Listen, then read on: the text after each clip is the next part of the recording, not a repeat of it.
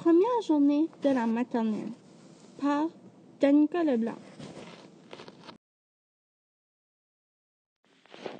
Par une merveilleuse matinée d'automne, Amelia, une fille très respectueuse et tranquille, se prépare pour aller à la première journée de la maternelle. L'école Abbé Landry est une école magique. Les pauvres peuvent danser au rayon du soleil et les murs sont là pour te parler quand tu es triste, fâché ou pas de bonne humeur. Amelia a hâte de commencer la maternelle, mais elle ne veut pas laisser sa maman partir au travail.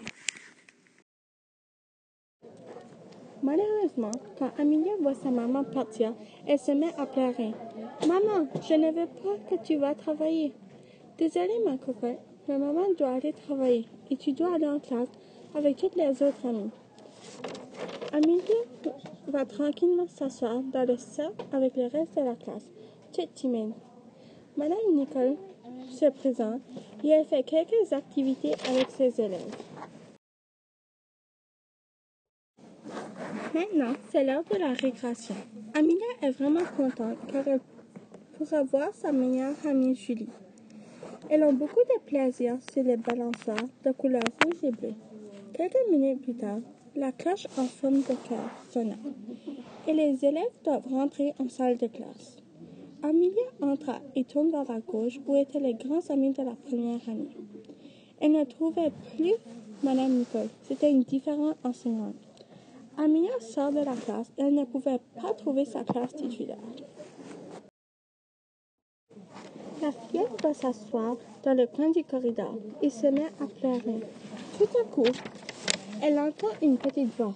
Bonjour, Amelia. Qu'est-ce qui ne va pas? Amelia, toute surprise, et dit Qui es-tu? Où es-tu? C'est moi, le mur magique. J'aide les personnes qui sont tristes ou qui ne sont pas de bonne humeur. Mais, premièrement, qu'est-ce qui ne va pas? Je ne trouve plus ma classe. Ah bon? Qui est ton enseignante? Je peux peut-être t'aider. J'ai oublié son nom, mur magique. Est-ce qu'elle a des cheveux blancs? Je ne sais pas. Bon, d'accord. Les potes à côté commencent à danser et les murs de couleur jaune et orange chantent pour redonner le sourire à Amelia. Aussitôt qu'ils ont fini de faire leur petit concert, la prof demande à Amelia si elle savait le mot de passe. En tout cas, tu es perdu dans l'école. Tu as seulement besoin de dire le mot de passe et tu retourneras dans ta classe titulaire. C'était seulement la première journée d'école à Amelia, alors elle ne savait pas encore ça. Heureusement, Madame Louise sortait de sa classe pour aller au salon du personnel. Elle voit Amelia dans le corridor. Elle trouve ça étrange. Alors, elle va la voir. Madame Louise s'approcha d'Amélie et dit Pourquoi tu n'es pas en classe, ma belle? Car je ne sais pas où elle est, ma classe, madame. La prof m'a demandé si j'avais un mot de passe, mais je ne savais pas en comment retourner dans ma classe. Ah, je comprends tout, ma belle. Viens avec moi et je vais te dire c'est quoi le mot de passe et ensuite je vais te rapporter dans ta classe. D'accord? Amelia acceptait et alla dans la classe à Madame Louise.